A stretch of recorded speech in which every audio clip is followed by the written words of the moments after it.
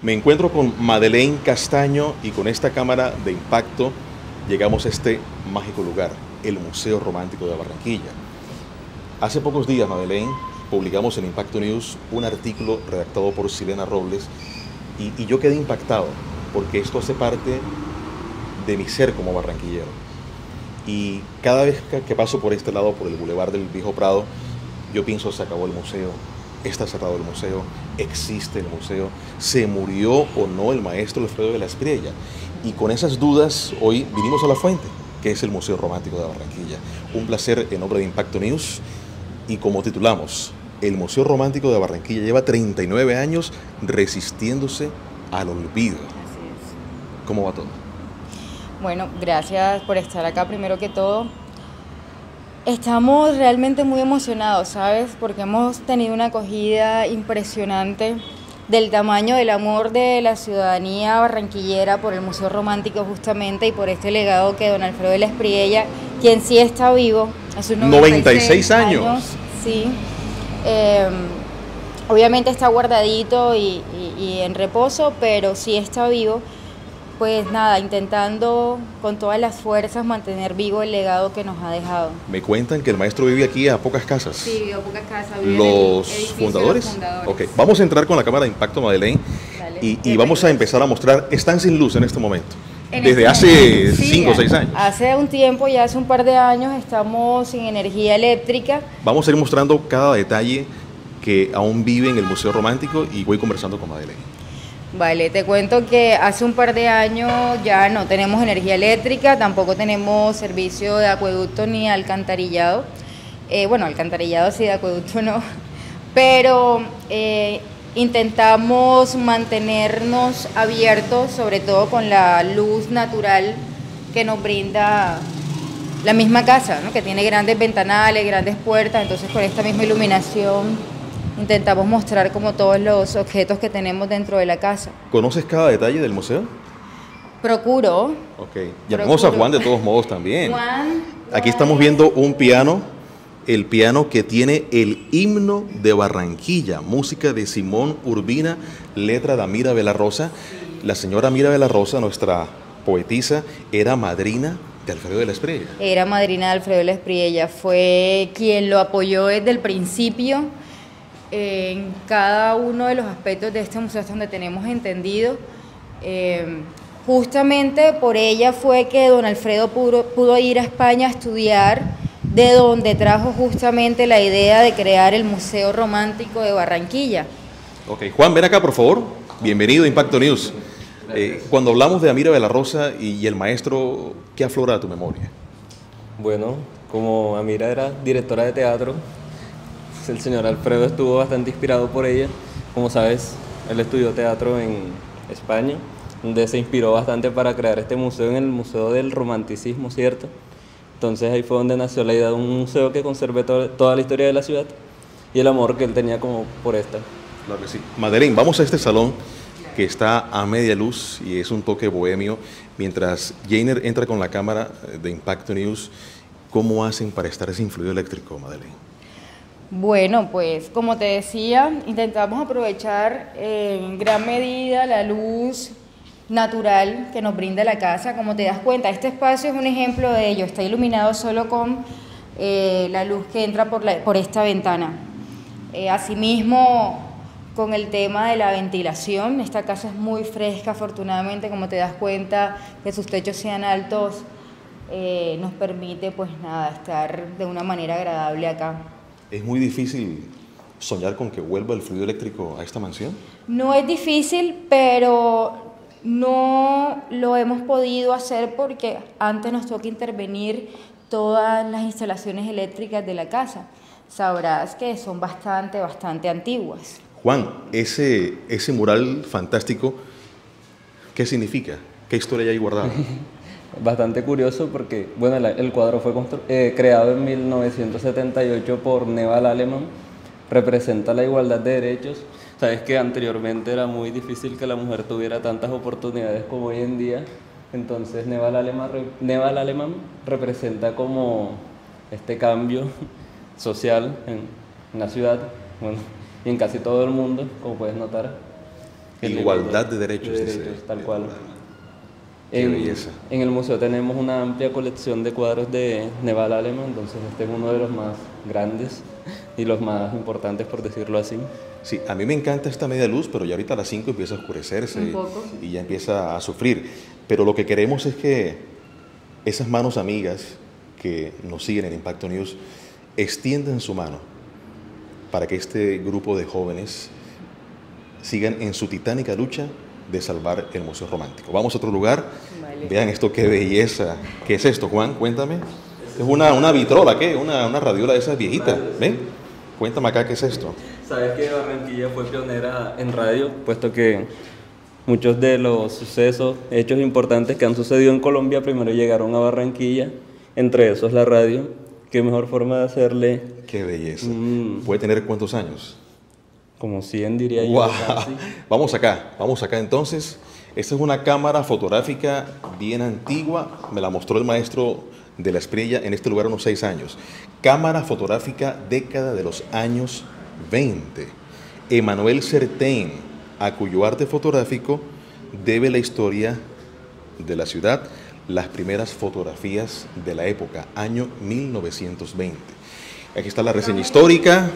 ¿Qué me ibas a decir? No, te iba a decir que justamente el sábado tuvimos una actividad acá en el museo eh, donde hablábamos de la historia de la fotografía en la ciudad de Barranquilla. Por eso esta cámara está acá afuera, justamente como para que todos los fotógrafos de la ciudad, que hay muchísimos amantes de la fotografía, conocieran un poco de la historia. Vamos acá. Aquí vemos otro inmenso mural. Bueno, entiendo mientras mostramos las imágenes, Madeleine, que muchas obras han sido trasladadas para preservarlas, Sí, para sí, salvarlas. Sí. Eh, la segunda planta, pues sí tuvimos un, como el acceso de las palomas, de este tipo de, de- de animalitos que sabemos que puede dañar y perjudicar algunas de las obras. Entonces lo que hicimos en nuestro proceso de limpieza y recuperación eh, fue bajar muchas de estas obras precisamente para mantenerlas intactas porque la edificación en general está en muy buen estado, pero las ventanitas, algunas se le han roto los vidrios, entonces por ahí aprovechan las palomitas y, y entran, entonces quisimos como mantenerlas intactas y las bajamos justamente. Es que, Jainer, aquí lo curioso es que desde el año 2017 ustedes se quedan sin fluido eléctrico. y, y para colmo de males, como decimos, viene la pandemia y toca cerrar por obligación. Sí, Es difícil, bastante. es difícil. No sé cómo están haciendo ustedes en esta labor, repito, titánica para, para resistirse al olvido, madre. Bueno, sabes que algo importante que hay que resaltar es el apoyo de todos esos amigos del Museo Romántico, estas personas que como tú tienen un amor por todo lo que el museo representa para la ciudad. Eh, aquí contamos con el apoyo de Yana Costa Madiedo, que es nuestra vecina, de Lía Tapias, que es de la Fundación Unión Color, quienes nos están apoyando todo el tiempo. Por ejemplo, Deyana siempre es una de las que nos da, nos da energía con una de las extensiones, ella siempre nos da energía y con eso alimentamos a veces las, los espacios. Y, y aquí les voy a mostrar, Jainer, vamos a ver esto. Tienen un panel solar para Sí. cargar celulares, para prender una luz. Exacto. Ahí está la planta. Yo quisiera que Juan, yo quiero subir al segundo piso. Vamos. Déjame y te cuento enseguida esto. que. Estamos apostándole a la Vean sostenibilidad. Es una planta solar que nos permite, como tú dices, conectar eh, solo iluminación, mm, los teléfonos, computadores y este tipo de, de objetos. Eh, gracias al Museo de Galapa, a nuestro amigo Johnny Mega, que muy amablemente nos ha apoyado, nos ha prestado esta, esta ¿es planta. prestado? Esta es prestada, pero tenemos el propósito de poder conseguir nuestros, Qué nuestras bueno. propias plantas, justamente para hacer de este museo uno de los lugares sostenibles de la ciudad, ya que le estamos apo- apostando bastante a la ciudad, a la sostenibilidad, ¿no? Eh, y a los recursos re- renovables. Eh, al apoyo también de la red departamental de museos hicimos todo esto, ¿sabes? Sí, qué bueno. Vamos al segundo piso. Vamos al segundo. Juan, yo quiero que me cuentes en, en esta subida a la planta 2, la casa de quién era. ¿En qué momento esta casa pasa a manos del maestro Alfredo de la Espriella? Aquí hay muchas cosas guardadas para que sean preservadas. En este momento tenemos este espacio como una de las bodegas como el cuarto de San Alejo, por lo pronto. Vamos al segundo piso, Jane, ven, vamos acá.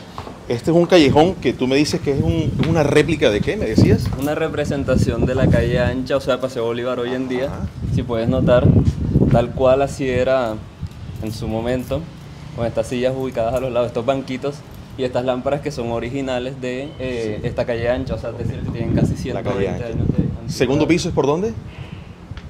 Por acá. Sí, por aquí. Bueno, les cuento que, que este es algo exclusivo de Impacto News porque creo que casi nadie ha entrado al segundo piso. No lo tenemos habilitado. Exacto. para- Pero a mí me encanta, hay un salón que tiene una mesa inmensa, es como una, como una escena cinematográfica, por eso quiero que me complazca Madeleine y Juan en acceder al segundo piso. Vamos detrás de Madeleine, por favor, vean esta belleza. Las escaleras, aquí está la historia de Barranquilla, Dios mío, los cuadros. Al subir estas, estos escalones, siento que estoy palpando la historia de Barranquilla. Esta casa, ¿en qué- ¿de quién era? ¿Quién la fundó y en qué momento pasa manos del maestro Alfredo de la? O sea, luego de construida la urbanizadora El Prado en 1920, siete años después, o sea, en 1927, la casa fue construida para la familia Freund Strons, eh, de ascendencia austrohúngara. El señor Julius era cónsul de los Estados Unidos. Clementina fue una de las socias fundadoras del centro artístico que es hoy Bellas Artes. Y luego vivieron sus cuatro hijos aquí, pero dos que permanecieron fueron las dos hermanas Carmen y Esther Freund-Strons. Luego construyeron el edificio al lado, que en ese momento era el patio de la casa. Eh, Carmen vivió ahí hasta que falleció en el año 1993. Donó la mansión. Sí, donó la, la mansión al señor Alfredo de la Priella en 1977. Ok, ¿y, y la mesa grande dónde está? Está por acá. Ah, ok, este, este es el lugar. Este es el lugar.